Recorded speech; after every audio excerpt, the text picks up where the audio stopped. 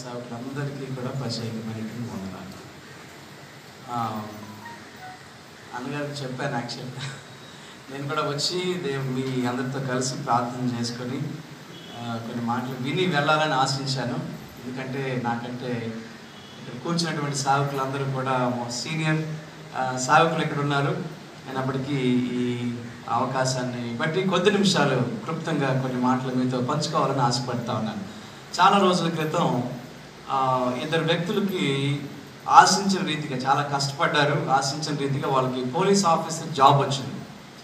సరే ఆ ప్రక్కనే ఉన్నటువంటి సిటీకి వాళ్ళు జాయిన్ అవడానికి వెళ్ళారు.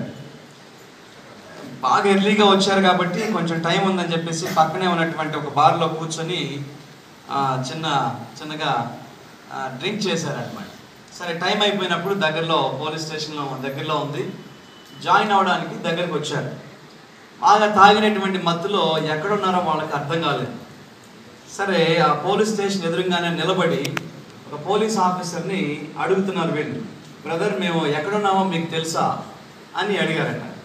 అయితే అక్కడ నిలబడినటువంటి పోలీస్ ఆఫీసర్కి కోపం వచ్చి అసలు నేనెవరో మీకు తెలుసా? అని ఆయన ఎదురు ప్రశ్నించాడట. అయితే అప్పుడు వీళ్ళిద్దరూ ఒకరితో ఒకరు మాట్లాడుకుంటా ఉన్నారు. బ్రదర్ ఇప్పుడు మనం చాలా పెద్ద సమస్యలో ఉన్నాం. మనకేమో మనం ఎక్కడున్నామో తెలియదు మనకి. కానీ ఈయనకి మాత్రం ఆయన ఎవరో ఆయనకి తెలియనటువంటి స్థితిలో ఉన్నాడు. మనం చాలా పెద్ద సమస్యలో ఉన్నాం అని మాట్లాడుకుంటాం మొదలుపెట్టారట. అయితే ఇందులో నుంచి మనం నేర్చుకునే విషయం ఏంటంటే ఈ రోజుల్లో మన దేశంలో మన రాష్ట్రంలో మన సంఘాల్లో మంచి నాయకులు మనకు కావాలి.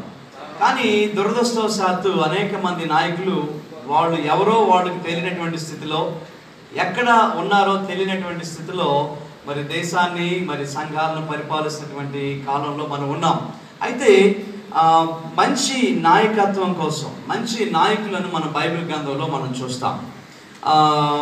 మాదిరికరమైనటువంటి నాయకులను మనం బైబిల్లో చూస్తాం.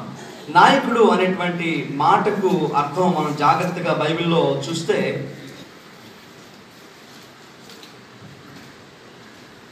దానికి అంటే కేవలం అధికారం మాత్రమే కాదు అధికారం మాత్రమే కాదు కానీ సేవకుడు అని బైబిల్లో మనకి నాయకులందరినీ చూసినప్పుడు మనకి అర్థమవుతుంది. తర్వాత ప్రభావితం చేసేవాడు అని అర్థం నాయకుడు అంటే కేవలం అధికారం కలిగి ఉండేవాడు మాత్రమే కాదు కానీ నాయకుడు అంటే ఒక సర్వెంట్. నాయకుడు అంటే ఒక ఇన్ఫ్లుయెన్స్ చేసేటువంటి వ్యక్తి ప్రభావితం చేసేటువంటి వ్యక్తి. నాయకుడు అంటే ముందుండి నడిపించేటువంటి వాడు అని మనకు బైబిల్లో నుంచి మనకు అర్థమవుతాం. తర్వాత మాదిరి చూపించేటువంటి వాడు నాయకుడిగా ఉంటాడు.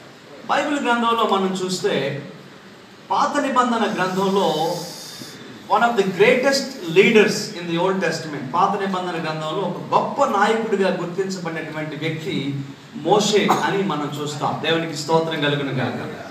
మోషే యొక్క ప్రొఫైల్ని మనం చూస్తే చాలా ఆశ్చర్యం కలిగించేటువంటి ప్రొఫైల్ ఆయన కలిగి ఉన్నాడు. ఆయన నీళ్ళలో నుంచి తీయబడ్డాడు కాబట్టి ఆయన మోషే అనేటువంటి పేరు పెట్టబడ్డాడు. లేవీల వంశంలో నుంచి హెబ్రియుడిగా ఆయన ఉన్నట్లుగా మనం చూస్తూ ఉన్నాం. గొప్ప యుద్ధ వీరుడు మంచి జ్ఞానము కలిగినటువంటి వ్యక్తి. ప్రపంచ చరిత్రలో ఇస్రాయేలీల యొక్క పరిస్థితిను స్థితిగతులను మార్చినటువంటి ఒక గొప్ప నాయకుడిగా మోషే మనకు కనబడుతున్నాడు. అయితే మోషేని బైబిల్ గ్రంథంలో క్రీస్తు యొక్క విమోచన కొత్త నిబంధన గ్రంథంలో క్రీస్తు మరి పాపముల నుంచి మనల్ని ఏ విధంగా విమోచించాడో పాత నిబంధన గ్రంథంలో మోషేను గొప్ప విమోచకుడిగా మనకు సూ- సూచిస్తాడు అయితే మోషే యొక్క జీవితాన్ని మనం జాగ్రత్తగా మనం చదివినప్పుడు ఆయన మూడు సంవత్సరాల వయసులో నీళ్ళలో పడవేయబడ్డాడు. సుమారుగా మూడు సంవత్సరాల వయసులో. నలభై సంవత్సరాల వయసులో ఒక మర్డరర్గా మారాడు. అంటే హత్య చేసినటువంటి వాడిగా మారాడు. ఎనభై సంవత్సరాల వయసులో దేవుని యొక్క పిలుపు అతనికి వచ్చింది. తర్వాత చూసినట్లయితే నూట ఇరవై సంవత్సరాల వయసులో ఆయన ప్రభు సన్నిధికి వెళ్ళిపోయాడు. మూడు సంవత్సరాల వయసులో నీళ్ళలో వేయబడ్డాడు. నలభై సంవత్సరాల వయసులో ఒక మర్డరర్గా మారిపోయాడు. ఎనభై సంవత్సరాల వయసులో ప్రభు యొక్క పిలుపు అందుకున్నాడు. నూట ఇరవై సంవత్సరాలకు ఆయన చనిపోయి ప్రభు సన్నిధిలోకి వెళ్ళిపోయినట్లుగా మనం చూస్తా ఉన్నాం. అయితే ఆయన మరి ఆ రాజుగారి దగ్గర నుంచి పారిపోతున్నప్పుడు దాదాపుగా ఒక పదివేల కిలోమీటర్ల దూరం నడిచి మిథియానికి వెళ్ళి పారిపోయినట్లుగా మనం చూస్తూ ఉన్నాం. ఆ తర్వాత జరిగిన విషయాలన్నీ మీకు తెలుసు. అయితే ఎందుకు మోసే ప్రొఫైల్ చెప్పానంటే ఒక సక్సెస్ఫుల్ లీడర్లో నాయకుల్లో ఉండవలసిన లక్షణాలు మోసే యొక్క జీవితంలో నుంచి మనం నేర్చుకోవచ్చు. ఈ ఉదయకాల సమయంలో క్లుప్తంగా ఒక ఐదు పది నిమిషాల్లో ఆ మోసే జీవితంలో ఉన్నటువంటి మూడు లక్షణాలు ఏమైతే అతన్ని ఒక సక్సెస్ఫుల్ లీడర్గా సక్సెస్ఫుల్ నాయకుడిగా చేశావో ఆ విషయాలు మీతో క్లుప్తంగా పంచుకోవాలని ఆశపడ్డాను ఎందుకంటే మన జీవితాల్లో మనందరం కూడా దేవుని యొక్క పిలుపు పొందినటువంటి దేవుని సేవకులమే.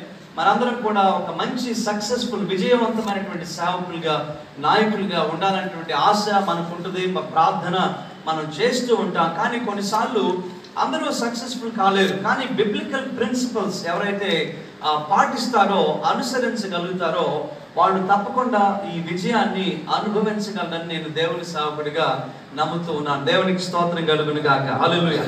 అయితే మోషేలో ఉన్నటువంటి మొట్టమొదటి లక్షణం ఏంటంటే ఆయన సక్సెస్ఫుల్ లీడర్గా లేదా విజయవంతమైన లీడర్గా అతను మారడానికి అతని జీవితంలో కలిగి ఉన్న మొట్టమొదటి లక్షణం ఏంటంటే ఆయన దేవునితో వ్యక్తిగత సంబంధాన్ని కలిగి ఉన్నాడు. అంటే he had a personal relationship with God అంటే మరొక మాట చెప్పాలంటే కేవలం వ్యక్తిగత సంబంధం మాత్రమే కాదు కానీ and ongoing relationship with God అంటే ఎల్లప్పుడూ ఆ సంబంధాన్ని సహవాసాన్ని కొనసాగించేటువంటి వ్యక్తిగా ఉన్నాడు. చాలామంది చెప్తూ చెప్తా ఉంటారు పంతొమ్మిది వందల డెబ్బై సంవత్సరంలో లేకపోతే పంతొమ్మిది వందల నలభై సంవత్సరంలో దేవుడు నాకు ఒకసారి కనపడ్డాడండి. ఆయన పిలిచాడు అని చెప్తా ఉంటారు. కానీ నిన్న ఆయన నీతో మాట్లాడా మొన్న ఆయన నీతో మాట్లాడా అంటే దాని గురించి ఎక్కువగా చెప్పరు. మంచిదే ఒకప్పుడు ఎప్పుడో ప్రభు మనల్ని పిలిచాడు. కానీ ఆ ప్రభువుతో ఆన్ గోయింగ్ రిలేషన్షిప్ అనేది మనకి ఉందా లేదా అనేది చాలా ప్రాముఖ్యమైనటువంటి విషయం. మండుచున్న పొద దగ్గర దేవుని యొక్క పిలుపును పొందిన అనుభవాన్ని మోసే కలిగి ఉన్నాడు. అక్కడితో దేవునితో సహవాసం దేవునితో సంబంధం అక్కడ నుంచి మోషేకి ప్రారంభమైనట్లుగా మనం చూస్తూ ఉన్నాం. ఆ మండుచున్న పొద దగ్గర జరిగిన కాన్వర్సేషన్ ఏదైతే ఉందో దేవునితో సంభాషణ ఏదైతే ఉందో చాలా ఆశ్చర్యం కలిగించేటువంటి సంభాషణ. దేవుడు మోషేతో మాట్లాడుతూ ఉన్నాడు. మోషే అంటాడు నేను ఎంతటి వాడిని ప్రభా? అంటాడు. దేవుడు అంటాడు నేను నీకు తోడున్నాను కదా నేను నడిపిస్తాలే పద అంటాడు. మరి నీ పేరేంటి ప్రభా అని